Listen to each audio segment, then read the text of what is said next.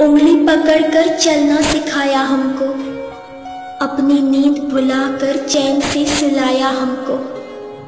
अपने आँसू छुपाकर हंसाया हमको। कोई दुख ना देना ए खुदा, मेरे पापा को। पापा मुझे देखते हैं तो मुस्कुरा देते हैं। कहते नहीं है कुछ, बस पीठ थपथपा देते हैं।